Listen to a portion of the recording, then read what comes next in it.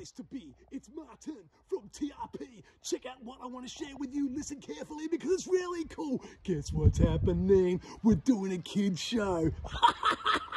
I know. I can't believe they're going to let me loose either. We're doing a kids show. Guess what? It's going to happen. We're going to go to Narre Warren. We're going to Frankston. We're going to go to Moonee Ponds. We're going to Shepparton, and we're going to Wodonga. And we're going to go there in the term three holidays. Yeah. And when we go there, we're going to have fun. It's called Three Happy Tricks. That's the name of the show. And what we want, if any of you want to come along, we'd love to see you. It's aimed for primary school age children. If you want to come along, kids, come along. You can even bring an adult with you if you want. Who knows? Hang out together with them. What could go wrong? Yeah? Hanging out with your parents or your carers. That's good times.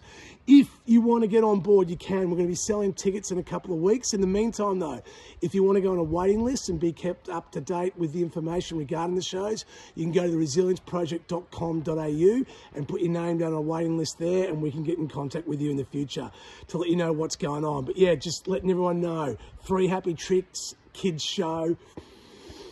It's to go booyah.